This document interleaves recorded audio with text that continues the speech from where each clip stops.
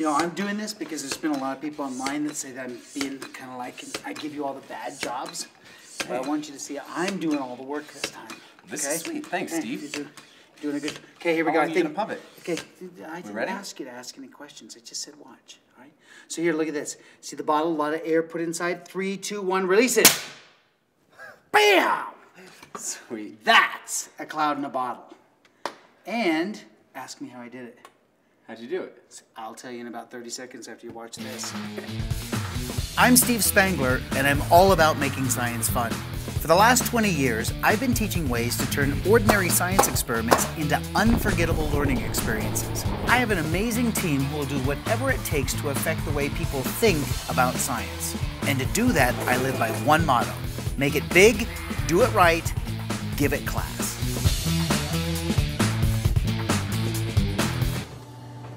All right, if you look at a book, How to Do a Classic Cloud in a Bottle, they say that you need to have bottled water. Um, most important thing, believe it or not, smoke. And in order to have smoke, you need to have the matches. So let me show you the classic way that they say to do this. So first thing you need to do is get a match. All right, ah, here's one. All right, perfect.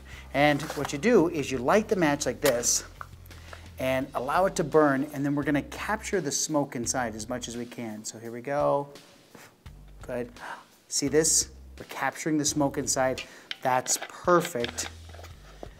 That's what we need. Now in just a second it's going to dissipate and this is not the cloud, it's just some smoke that's inside.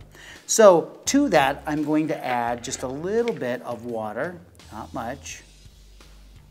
Good, so there it is. Cap it all off once again. And now the object is to get the water to evaporate. See, in order to make a cloud, the science is pretty simple. The water has to evaporate, but then it has to condense on something. And believe it or not, a cloud in the air, those um, little uh, molecules of water want to condense on something, and many times that's a little piece of pollution. It could be uh, smoke, it could be particles that are in the air. But that's why mom always said never eat, drink the rain like this because it's dirty, right? It may not seem like it is, but all those droplets had to condensate on something. So here, uh, is our, our water. We're hoping that it's evaporating. And now we're going to go through a pressure change. Ready? So I'm going to squeeze it and we're going to introduce high pressure. So ready? When I squeeze it here like this, I'm trying to increase the pressure, increase the temperature just a little bit. And now when I release, that's supposed to be the cloud. Did you see it? That's the cloud. Ready? Cloud, no cloud, cloud. Wait, high pressure, right? Condensation happens when you have low pressure. Can you see why for years I hated the cloud in the bottle demonstration? That's not a cloud, it's, I don't know what that is. You need a big, thick cloud. In order to do that, we gotta pull in the heavy equipment, a bike pump. Now for my version of the cloud in the bottle, you do not need matches. No matches needed for that, right? In fact, all you need is a bottle, you need a bike pump, your safety glasses, and the secret ingredient, rubbing alcohol. And now you know why we don't need the matches. See, the matches and the rubbing alcohol do not mix. In this particular case, for demonstration purposes, I wanted to find something that would evaporate just a little bit quicker than water.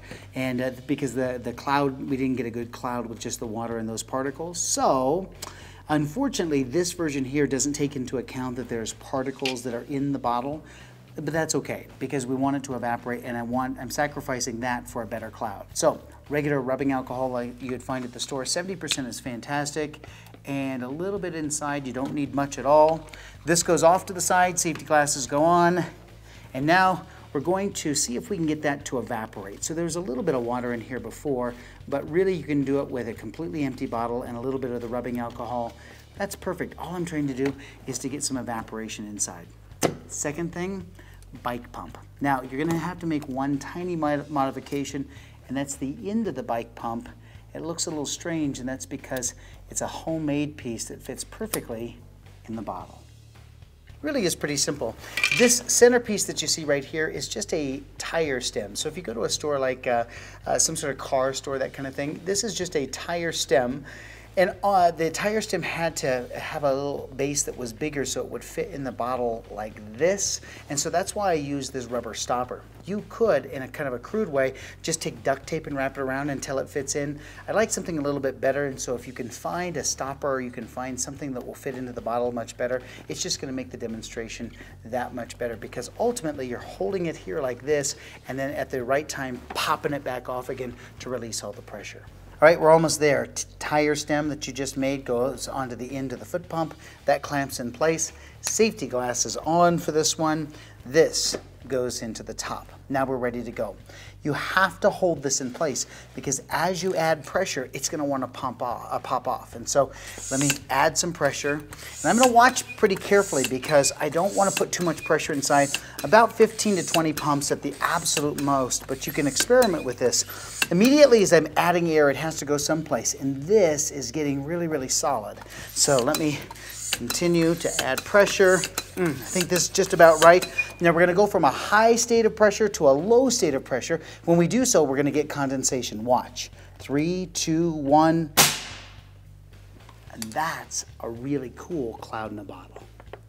But before all of this condensation, the cloud goes away, immediately cap it back off again because now watch, what a great example. This is a cloud in the morning. Let's just say it's fog. And they say the fog burns off. Well, really, there's a pressure change, right? So we're going from a state of lower pressure, watch this, to a state of higher pressure. And look at this. In doing so, watch, the cloud vanishes. Ah, I feel a repeat coming on, right? So we're increasing the pressure. We have condensation going to happen as soon as we go to a low state of pressure. I can feel the bottle getting just a little bit warmer. This is good. Watch this. Three, two, one. And there you have, I think, the ultimate cloud in a bottle. You know, all this talk of clouds makes me think about clouds and how they look. Big city clouds sometimes look a little bit different than, I don't know, clouds out in the country somewhere. And if you notice in a big city, many times in right there at the end of the winter, kind of coming into the spring, you get this brown cloud effect, right? You get this layer of haze that kind of sits right there. It's almost like it's trapped right over the city. In fact, it is. In order to understand the science of that cloud, you need to understand something about the science of temperature inversion.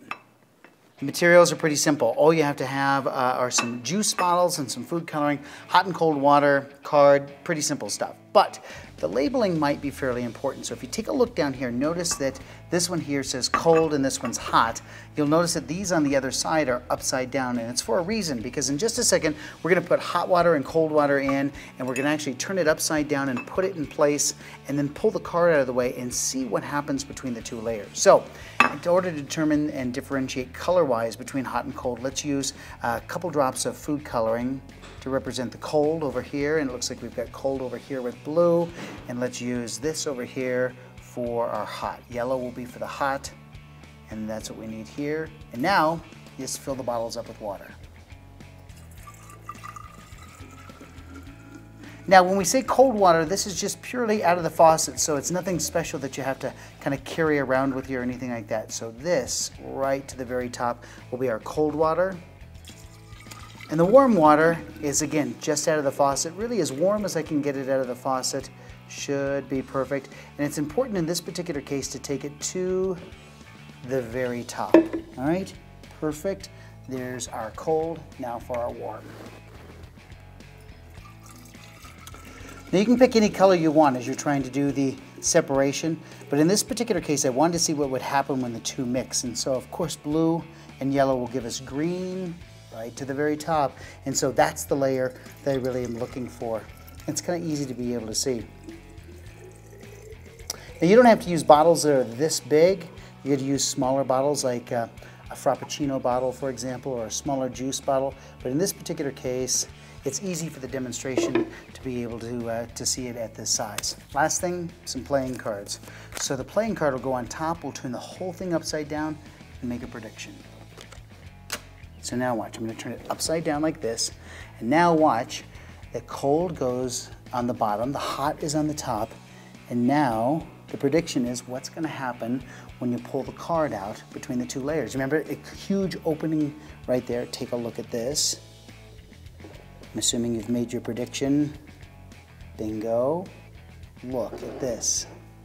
The hot stays at the top and the cold stays at the bottom. There's no mixing of the gases at all, right? Uh, the, the liquids in this particular case, but we're going to use them to represent gases. All right, so now let's do the opposite over here. Let's put the cold on the top and the hot on the bottom. And now pull them out of the way and watch what happens. See, within seconds, you can see what's happening here. Look at this. We get this beautiful mixing starting to go on here, right? That hot rises up here, mixes with the cold. The cold heavier falls down, and we get this beautiful mixing up and down, whereas this part over here, no mixing at all. What does this say to us? It's this. The sun beats down on the earth, right? It heats the earth, and that hot air, or that, that earth, that hot air rises. And you want that to be able to take the pollution that's in the air that's close to the earth and send it up higher into the atmosphere. This is one of the reasons why people talk about being able to drive when it's still light. And, and one of the reasons when, and nowadays for daylight savings, you know, it used to be a long time ago because of farming, but really a pretty good um, uh, uh, environmentally friendly idea here to be able to drive when the sun is still out because you really get this mixing going on. And take a look at this, both bottles completely mixed in under 30 seconds. Whereas this here, see that layer that you hit right there, see that green part? That's the temperature inversion layer, right?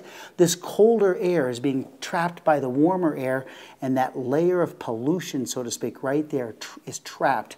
And that's why in these big cities, you have that brown cloud. Higginsworth, you did a good job. Got the, the water here. So now we're just going to make it bigger, right?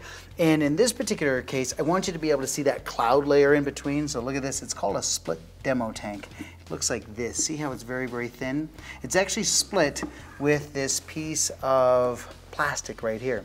So we can kind of put, like in your particular case, when you're playing, you could put whales over here and giraffes over here, and then go, go like this, and then the two would mix and you could, but in our particular case, since we're doing real science, you're gonna put warm water on this side and I'm gonna put cold water on this side. Got it? Got it. Got it, all right. So the trick here is kind of we pour at the same time. So even if there's a little leakage, believe it or not, there's good pressure on either side and it holds it in place. Ready? All right. So I've got cold over here. The blue is the cold. The warm is the yellow. Bingo. Got it? So now the trick is to slowly release it and kind of watch what happens here. Watch this. So you lift up slowly and allow that to start to work its way in. There it is. Cool. Isn't that nice? Look at this. So you get this beautiful wave that comes over and crashes on this side and works its way back. But look at this layer of green that you see there. And when it all settles down, you really will see that blue sitting here on the bottom that represents the colder air closest to the earth in the winter months, for example, and that warmer air that's above that's trapped in the, uh, the cold air. So this is the temperature inversion. And it's no wonder that things like carbon monoxide and other pollution gets trapped here in this particular layer. It just can't mix with any of the higher atmosphere. Another reason why they're putting uh, MTBE in our gasoline is trying to make it burn just a little bit cleaner during these months. Not so much in the summertime, because in the summertime, Earth is warmer, we're driving when it's still sunny outside, and you're starting to, uh, to, to get that movement back and forth. But this is a great example of temperature temperature inversion. Very cool.